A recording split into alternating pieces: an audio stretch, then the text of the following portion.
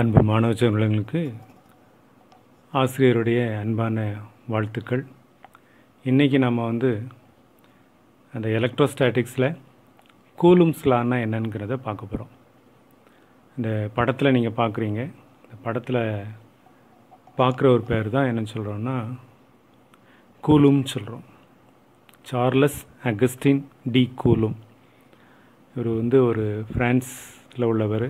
ஒரு கப்பல் கட்டும் தொழிற்சாலையில் அதில் ஒரு என்ன சொல்ல போனோன்னா அந்த காலத்தில் மிலிட்ரி இன்ஜினியராக பணி செய்தவர். இவர் வந்து ஒரு லாவை கொண்டு வரார். அவருடைய பேரும் பேரின்படியே இது வந்து என்ன சொல்கிறோம் கூலும்ஸ் லான்னு சொல்லி அழைக்கிறோம். இந்த கூலும்ஸ் லா என்ன சொல்லுதுன்னு பாரு.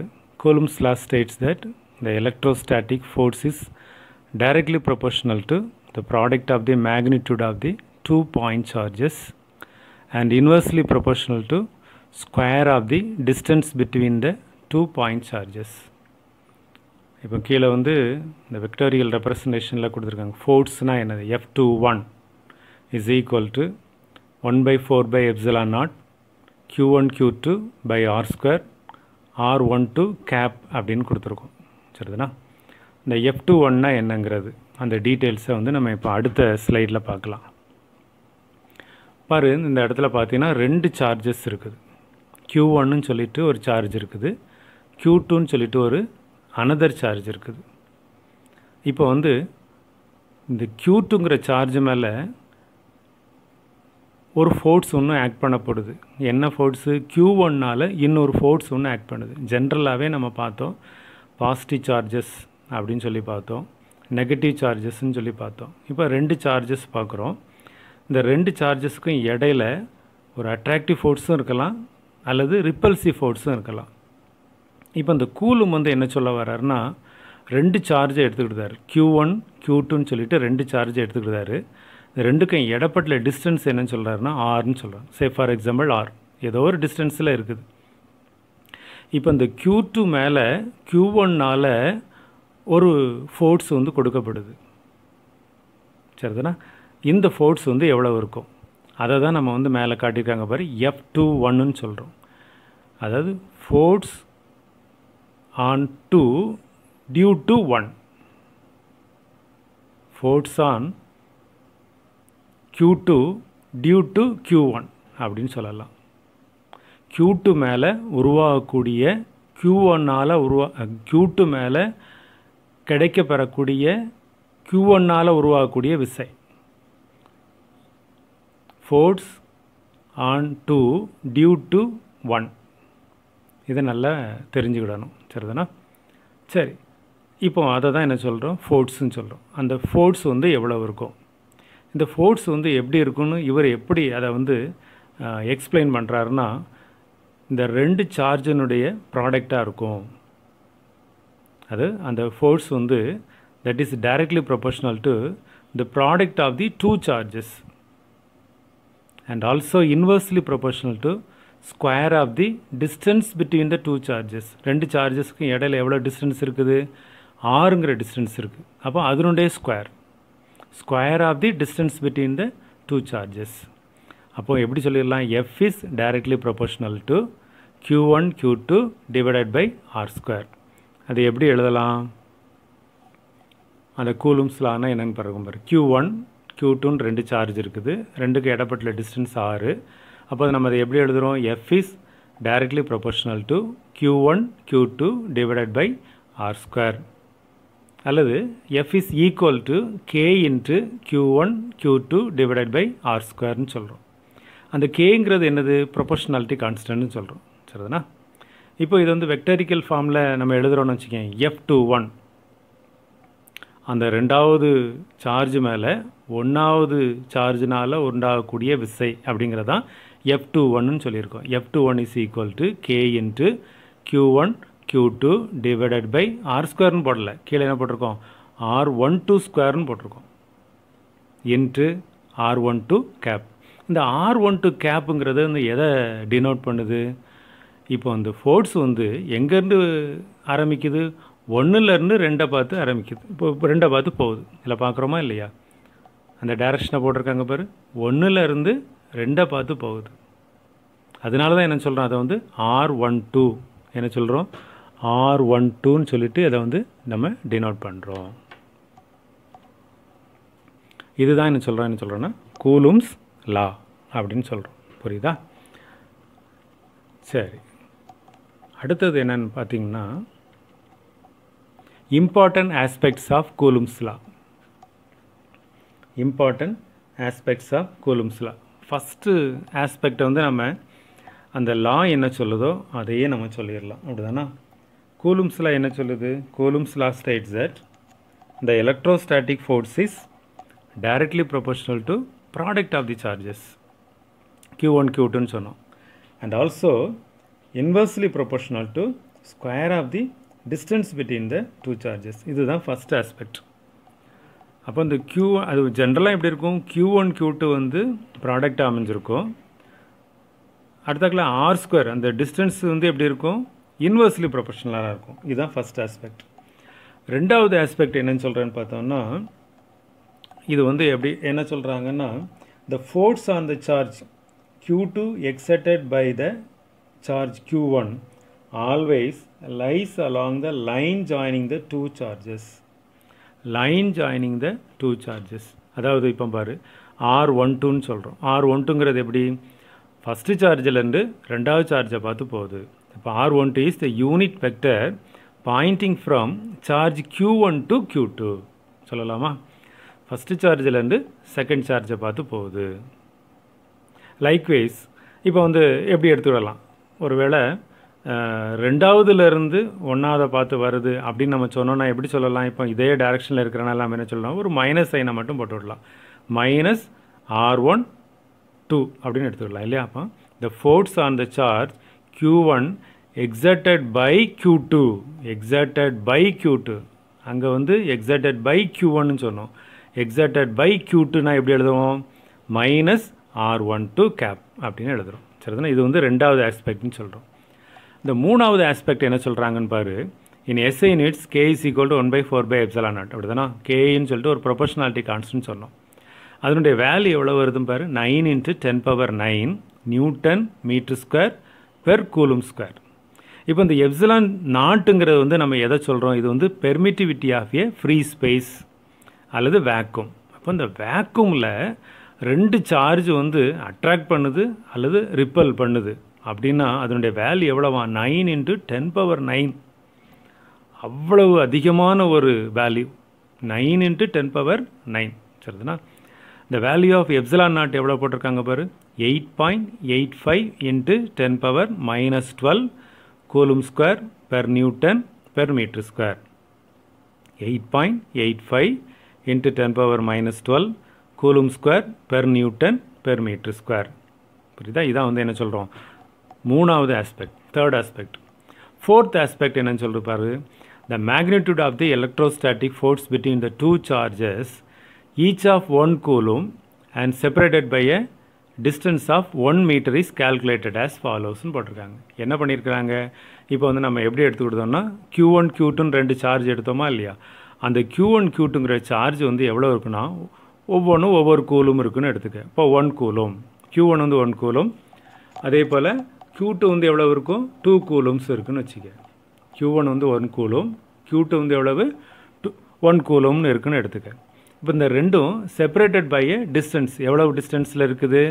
ஒன் மீட்டர் டிஸ்டன்ஸில் இருக்குதுன்னு வச்சுடுவோம் அப்போது அந்த ஃபார்முலா அப்ளை பண்ணோன்னா நமக்கு என்ன கிடைக்கும்? ஃபார்முலா அப்ளை பண்ணோன்னா என்ன வரும்? F is equal q one q two divided by r ஸ்கொயர்னு சொல்கிறோம் அப்போது அந்த one by four by epsilon நாட்டுன்னு சொல்லிட்டு ஒரு வேல்யூ போட்டோமா இல்லையா? கே கேனுடைய வேல்யூ எவ்வளோன்னு கண்டுபிடிச்சோம். Nine into ten power nine அதை போட்டுக்க. இன்ட்டு கியூ ஒன்னுடைய வேல்யூ ஒன்று கியூ டூனுடைய வேல்யூ ஒன்று டிவைடட் பை ஆர் ஸ்கொயர் அப்போ ஆருடைய வேல்யூ ஒன்று தான். அப்போ ஒன் ஸ்கொயர் அப்போ போட்டோன்னா எவ்வளோ வருது? Nine into ten power nine newton எவ்வளோ ஒரு ஹியூஜ் காம் குவான்டிட்டின்னு பாரு. This is a huge calm quantity almost equivalent to the weight of one million ton equal to எவ்வளோவா? One million ton இந்த அளவுக்கு ஒரு சார்ஜை வந்து நம்ம வந்து பார்க்கவே முடியாது. அந்த அளவுக்கு பயங்கரமான வெயிட்டானது ஆனால் இது வந்து எதுக்குள்ளே அமைஞ்சிருக்குது? ஒரு வேக்கும்குள்ளே அப்போ அந்த ரெண்டுக்கும் இடையில உள்ள ஃபோர்ஸ் ஆஃப் அட்ராக்ஷனாக இருக்கலாம். ஃபோர்ஸ் ஆஃப் ரிப்பல்ஷனாக இருக்கலாம். சரிதானா? இது வந்து என்ன சொல்லும்? ஃபோர்த்து ஆஸ்பெக்ட்னு சொல்கிறோம் ஃபிஃப்த் ஆஸ்பெக்ட் என்ன சொல்லுதுன்னு பாரு. In SI units Coulomb law in vacuum takes the form F two one is equal to one by four pi epsilon naught Q one Q two divided by R square R one two cap இது நம்ம ஏற்கனவே பார்த்தோம். இந்த medium of permittivity வந்து எவ்வளோவா? Epsilon the force between the two point charges is given by f21 is equal to 1 naught 4 by epsilon naught q1 q2 divided by r square into r12 since epsilon போட்டிருக்காங்க இங்கே அப்படி தானே அங்கே வந்து நம்ம என்ன போட்டிருக்கோம்? எப்சிலான் நாட் இப்போ எப்சிலான் வந்து கண்டிப்பாக எப்சிலான் நாட்டோட அதிகமாக தான் இருக்கும். எப்சிலான் நாட்டுன்னா நம்ம எதைன்னு சொன்னோம்? ஒரு ஃப்ரீ ஸ்பேஸு அல்லது வேக்யூம் அப்படின்னு சொல்கிறோம் அப்போ இந்த எப்சிலான் வந்து இப்போ இந்த இடத்துல எப்சிலான்ங்கிறது இப்போ F two one is equal to one by four by epsilon naught epsilon போட்டிருக்கோம் இல்லையா? எப்சிலான் நாட் போடலை. Epsilon into q one q two divided by r ஸ்கொயர்னு போட்டிருக்கோமா இல்லையா? Into r one two cap இந்த எப்சிலான் வந்து எதை மீன் பண்ணுதுன்னா வேறு ஏதோ ஒரு மீடியம் ஒரு கிளாஸ் மீடியமாக இருக்கலாம் இடையில. அல்லது ஒரு லிக்யூடு மீடியமாக இருக்கலாம். அப்படி இருந்துச்சுன்னா அதை வந்து நான் நம்ம சொல்கிறோம் எப்சலான்னு சொல்லிட்டு டினோட் பண்ணுறோம் இப்போ இந்த force between the two point point charges in the medium other than vacuum is always less than that vacuum இப்போ எப்படி இருக்குமா? ஃபோர்ஸ் எப்படி இருக்குமா? குறைவாக தான் இருக்க முடியும் அதிகமாக இருக்க முடியாது. அப்போ இப்போ இந்த nine into ten power nine சொன்னோமே இல்லையா? அந்த ஒன் டன்னுக்கு ஈக்குவலண்ட்டாக இருக்குன்னு சொன்னோமே இல்லையா? மில்லியன் டன்னுக்கு ஈக்குவலண்ட்டாக இருக்குமென்னு சொன்னோமே அந்த அளவுக்கு இப்போ வந்து இருக்காது. அதோட இந்த ஃபோர்ஸ் வந்து எப்படி இருக்கும் அதர் தென் வேக்குமாக இருந்துச்சுன்னா அது வந்து எப்படி இருக்கும் அந்த ஃபோர்ஸ் வந்து லெஸ் தென் வேக்குமாக தான் இருக்க முடியும். So we define the relative permittive for a given medium as epsilon r is equal to epsilon prime divided by epsilon nought for vacuum அல்லது air epsilon r is equal எவ்வளோன்னு போட்டிருக்காங்க? One and for all the other media epsilon r is greater than one epsilon r எப்படி இருக்குமா? Greater than ஒன்னாக இருக்க முடியும். அடுத்தது வந்து பார்த்தீங்கன்னா சிக்ஸ்த் ஆஸ்பெக்ட் கூலும்ஸ் லாக்கு வந்து has the same structure as Newton's law of gravitation Newton's law of கிராவிடேஷன்னா என்னென்னு பார்த்தோம். நம்ம லெவன்த்தில் நம்ம படித்தோம் லெவன்த்தில் என்ன படிச்சிருக்கிறோம்? இப்போ அதில் வந்து நம்ம ரெண்டு மாசஸை கன்சிடர் பண்ணுவோம் இல்லையா? எம் ஒன் எம் டூன்னு சொல்லிட்டு ரெண்டு மாசஸ் அதுக்கு ஜென்ரலாக நம்ம என்னென்னு பார்த்தோம். ஒன்று வந்து சன்னை எடுத்துக்கிட்டோம் அடுத்தது வந்து என்ன சொல்லணும் எர்த்தை எடுத்துக்கிட்டோம் எர்த்தும் ஒரு பெரிய ஹியூஜ் மாஸ் தான். ஆனால் அதை வந்து நம்ம வந்து மோரார்லெஸ் அது வந்து ஒரு பாயிண்ட் சார்ஜ் மாதிரி எடுத்து விடுதோம். ஏன்னா சன்னுக்கும் எர்த்துக்கும் இடையில லாங்கர் டிஸ்டன்ஸ் இருக்கிறனால அது வந்து ஒரு பாயிண்ட் சார்ஜாகவே நம்ம அதை கன்சிடர் பண்ணுவோம். அதாவது அந்த டிஸ்டன்ஸை கம்பேர் பண்ணும்போது இது வந்து வெரி ஸ்மால் அப்படின்னு நம்ம எடுத்து சரியா? இப்போ இந்த ரெண்டுக்கும் ஒரு சில என்ன சொல்லும் ஒற்றுமைகள் வந்து ஒன்று போல் இருக்குது. அப்படி தானே சரிதானே எதுக்கும் கூலும் ஸ்லாவுக்கும் கிராவிடே நியூட்டன் ஸ்லாவ் கிராவிடேஷனுக்கும் சில ஒற்றுமைகள் இருக்குது அப்படின்னு நம்ம சொல்ல வரோம் அதுதான் இந்த இடத்துல கொடுக்கப்பட்டிருக்குது. என்ன கொடுக்கப்பட்டிருக்குது?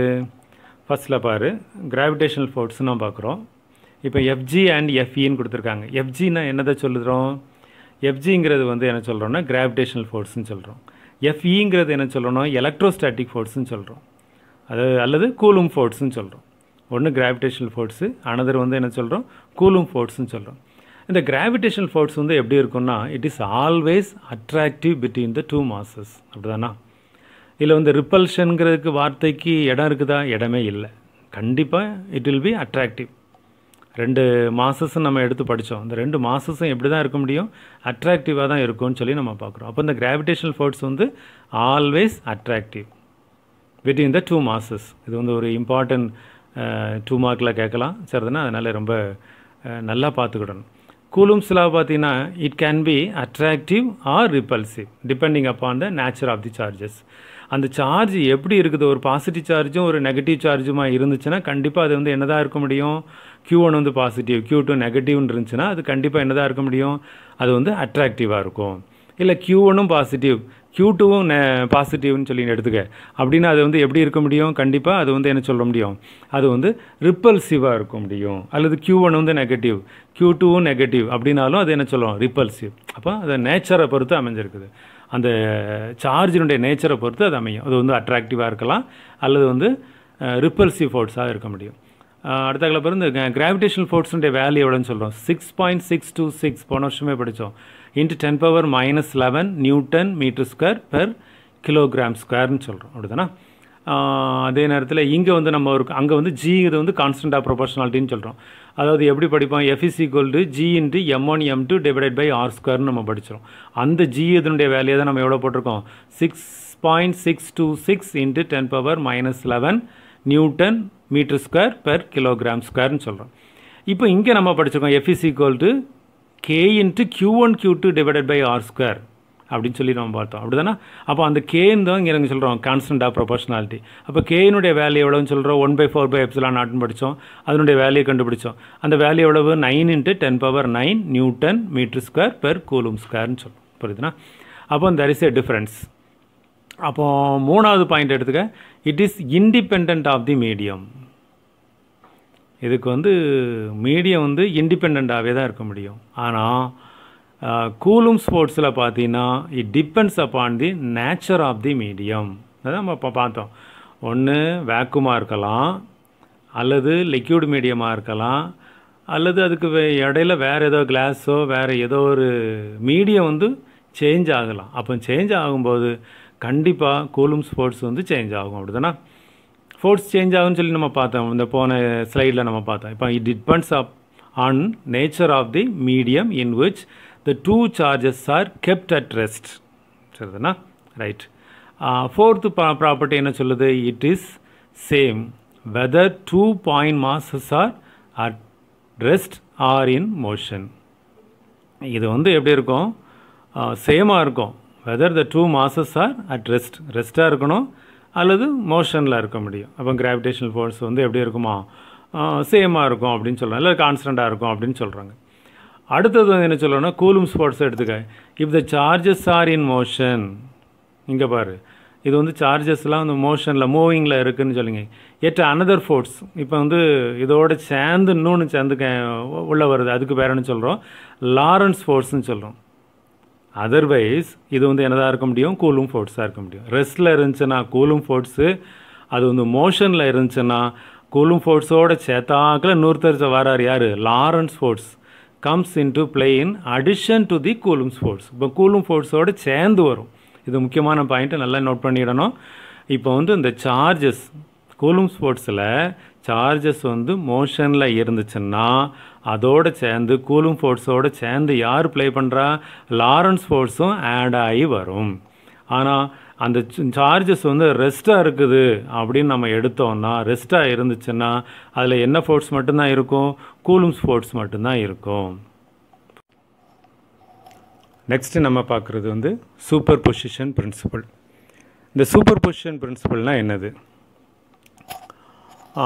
இதனுடைய டெஃபினிஷன் வந்து என்ன சொல்லுது? முக்கியமான two mark question according to superposition principle the total force acting on a given charges equal equal the vector sum of forces forces on it by all the other charges எல்லா சார்ஜும் அது மேலே எவ்வளோ act பண்ணுதோ அதுதான் அதனுடைய total சார்ஜுன்னு சொல்கிறோம் அப்படிதானா?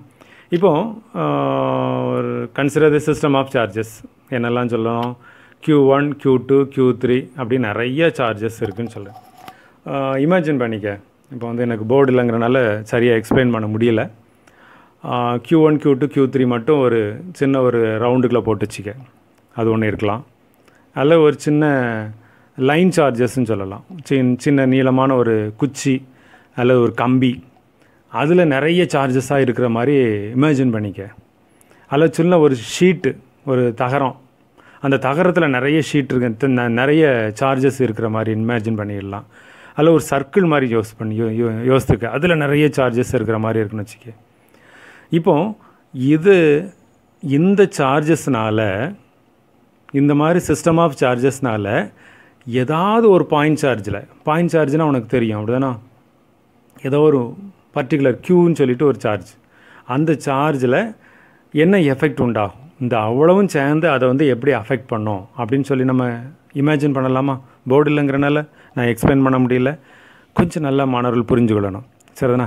இப்போ system of charges q one q two q three q one இறக்கும் வரைக்கணும்னு வச்சுக்கே இப்போ ஃபஸ்ட்டு சார்ஜ் ஃபஸ்ட்டு சார்ஜஸுக்கு வந்து எப்படி உண்டாயிருக்கும்? எஃப் ஒன் டூன்னு சொல்கிறோம் அப்படி தானே எஃப் ஒன் டூனா என்னது? டூ மேலே ஒன்றால் உண்டாகக்கூடிய ஃபோர்ஸ் அப்படி தானே ரைட் டூ மேலேயா? சாரி ஒன் மேலே டூவால் உண்டாகக்கூடிய ஒரு ஃபோர்ஸ் ஒன் எஃப் ஒன் மேலே. அதாவது க்யூ ஒன் மேலே க்யூ டூவால் உண்டாகக்கூடிய ஒரு ஃபோர்ஸ் சரிதானா?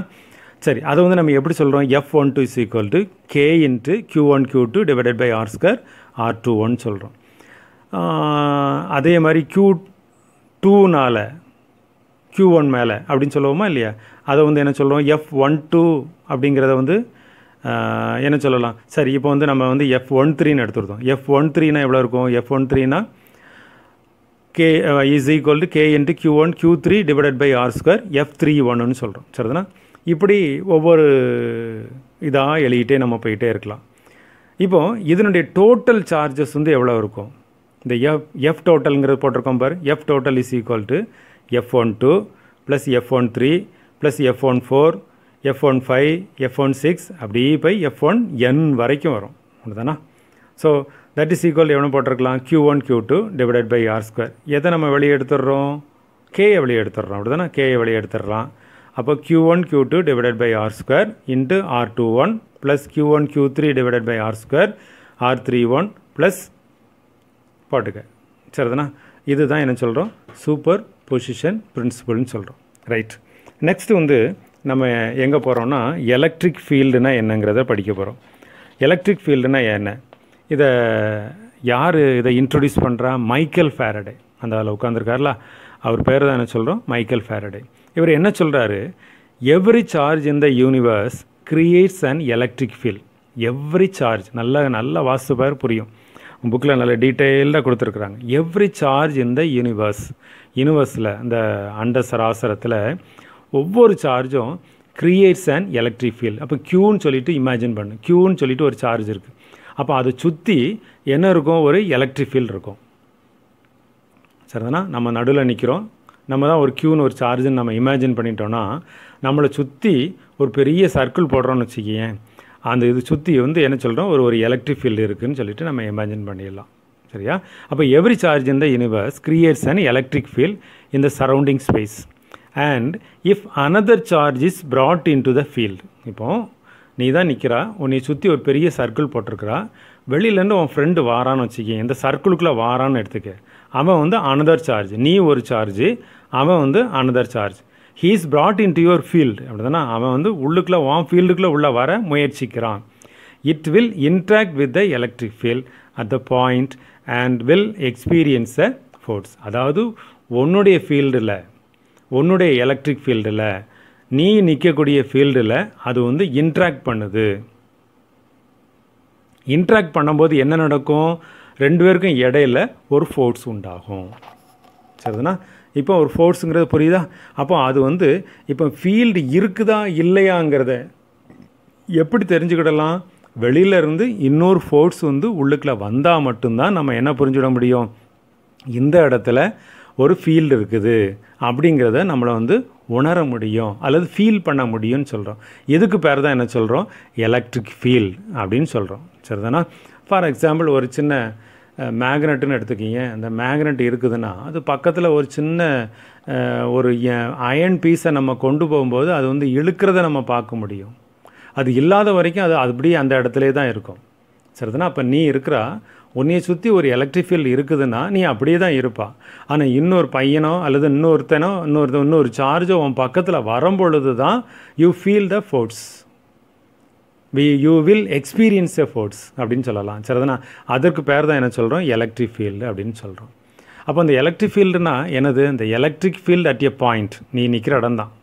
Point at a distance r from the point charge r from the point சார்ஜ்னால் யார் உன் ஃப்ரெண்டு பக்கத்தில் வரான்.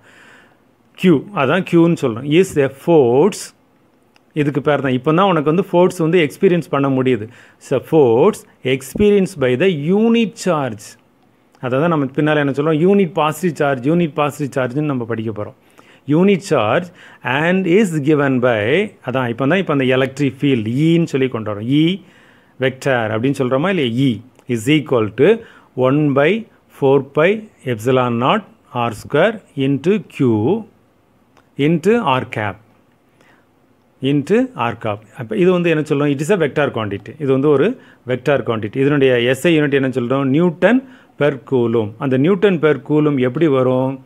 அப்படிங்கிறத நம்ம பார்ப்போம் அடுத்தாக்கில் for electric field due to at a due to a point charge point charge இப்போ வந்து க்யூனா என்னங்கிறது நமக்கு தெரியுது. க்யூனுங்கன்னா என்னன்னு சொல்கிறோம் நீ க்யூ ஜீரோங்கிறது என்ன சொல்கிறது வேறு ஒரு சார்ஜ் வந்து உள்ளுக்குள்ளே உள்ளே வருது. சரிதானா?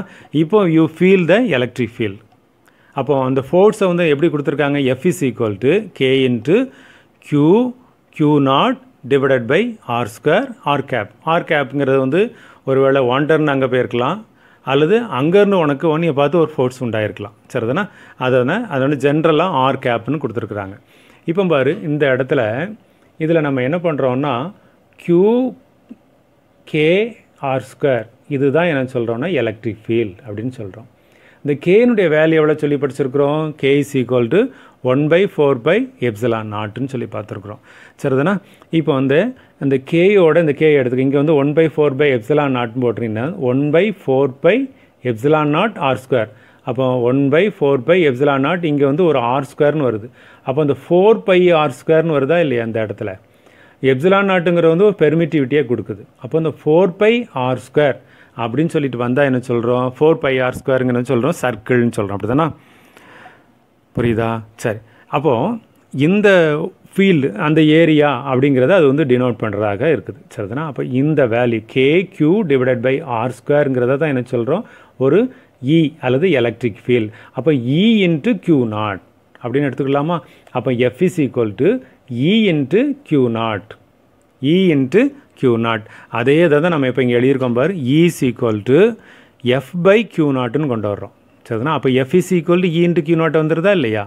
அப்போ k into q divided by r square k into q divided by r square இதுதான் என்ன சொல்கிறோம் எலக்ட்ரிக் ஃபீல்டுன்னு சொல்கிறோம் இதுதான் என்ன சொல்கிறோம் நம்ம எலக்ட்ரிக் ஃபீல்டுன்னு சொல்லிட்டு இதை டிஃபைன் பண்ணுறோம் இதனுடைய ஆஸ்பெக்ட்ஸ் நம்ம பார்க்கலாம். இதுலேயும் இம்பார்ட்டண்ட் ஆஸ்பெக்ட்ஸ் இருக்குது. Important aspects of the electric field என்னெல்லாம் இருக்குது? இப்போ வந்து ஒரு பாசிட்டிவ் சார்ஜ் இருக்குதுன்னு வச்சுக்கேன். பாசிட்டிவ் சார்ஜ் இருந்துச்சுன்னா it's points away from the source இங்கேருந்து தான் சார்ஜஸ் வந்து போயிட்டே இருக்கும். அதே நேரத்தில் நெகட்டிவ் சார்ஜ்லாம் இருக்குன்னா வச்சுருக்கோம்?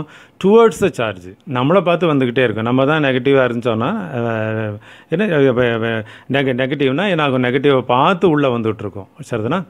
If the electric field at a point P is E, then the force experienced by the test charge q nought place at the point P is F is equal to q nought into E இப்போ ஏற்கனவே நம்ம பார்த்தோம். போ போன ஸ்லைடில் இதுதான் பார்த்தோம்.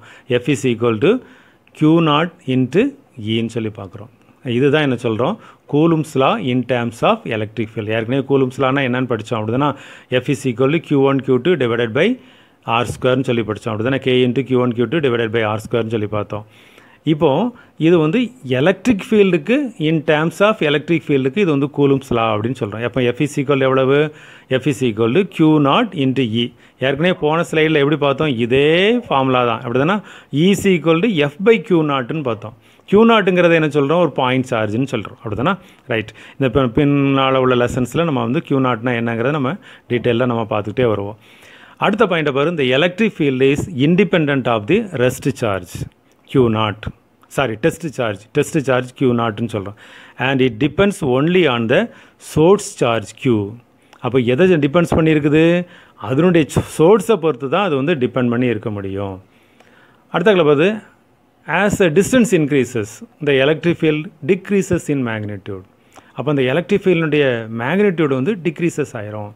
அப்போ அந்த உன்னுடைய நீ தான் ஒரு நிற்கிறா உன்னை சுற்றி வந்து ஒரு ஃபீல்டு இருக்குன்னு சொல்கிறோம் உன் ஃப்ரெண்டு வர்றான் அப்படின்னு சொன்னான்னா அவன் தூரத்தில் இருந்தானா அவனுக்கும் உனக்கும் இடையில உள்ள ஃபோர்ஸ் ஆஃப் அட்ராக்ஷன் அல்லது ரிப்பல்ஷன் வந்து எப்படி இருக்கும்? குறைவாக தான் இருக்குன்னு சொல்கிறோம் அதே போல் தான் இங்கேயும் அந்த எலக்ட்ரிக் ஃபீல்டை நம்ம உணர்றோம்ல அந்த எலக்ட்ரிக் ஃபீல்டுடைய மேக்னிடியூட் வந்து கம்மியாக தான் இருக்கும் அல்லது குறைவாக தான் இருக்கும். அடுத்த பாயிண்ட் என்ன சொல்கிறோம்னா test charge is made sufficiently small சின்னதாக தான் இருக்கும். So that such that it will not modify the electric field of the source charge அதனால தான் அது வந்து பண்ண முடியாது. எலக்ட்ரிக் ஃபீல்டு சோர்ஸை வந்து சோர்ஸ் ஆஃப் சார்ஜை வந்து என்ன பண்ண முடியாது மாடிஃபை பண்ண முடியாது. அடுத்த பாயிண்ட் பாரு. For continuous and finite charge distributions integration techniques must be used அடுத்து என்ன சொல்லியிருக்காங்க? There are two kinds of electric charges ஒன்று என்ன சொல்கிறோம் யூனிஃபார்ம் எலக்ட்ரிக் ஃபீல்டுன்னு சொல்கிறோம் அடுத்தது என்ன சொல்கிறோன்னா நான் யூனிஃபார்ம் எலக்ட்ரிக் ஃபீல்டுன்னு சொல்கிறோம் அப்போ யூனிஃபார்ம் எலக்ட்ரிக் ஃபீல்டுனா எப்படி இருக்கும்? அதனுடைய டைரக்ஷன் வந்து ஒரே டைரக்ஷனில் இருக்கும். சேம் டைரக்ஷனாக இருக்கும். அடுத்தாக்கில் கான்ஸ்டன்ட் மேக்னிடியூட் இருக்கும். எப்படி? எல்லா பாயிண்ட்ஸ்லேயும் எப்படி இருக்கும்? அதனுடைய டைரக்ஷன் வந்து சேமாக இருக்கும். அதே நேரத்தில் கான்ஸ்டன்ட் மேக்னிடியூடாக இருக்கும். நான் யூனிஃபார்ம்னால் எப்படி இருக்கும்? Non uniform electric field will have different directions கண்டிப்பாக வித்தியாசமான டைரக்ஷன்ஸ் இருக்கும். டிஃப்ரெண்ட் மேக்னிடியூட்ஸ் இருக்கும். சில இதில் கூட இருக்கும் சில இதில் குறைவாக இருக்கும். அப்படிதானா? Both at the different points in space சரிதானா? This non uniformity arises both in directions and magnitude with the directions being radially outward or inward வெளியே போயிட்டுருக்கலாம் அல்லது உள்ள உள்ளே பார்த்து வரலாம். And the magnitude changes as the distance increases இப்போ இந்த படத்தில் அழகாக கொடுத்துருக்காங்க. யூனிஃபார்ம் எலக்ட்ரிக் ஃபீல்டுனா எப்படி இருக்குன்னு பார். ஒன்று போல் இருக்குது எல்லாமே அந்த மேக்னிடியூட் எல்லாமே ஒன்று போல் இருக்குது.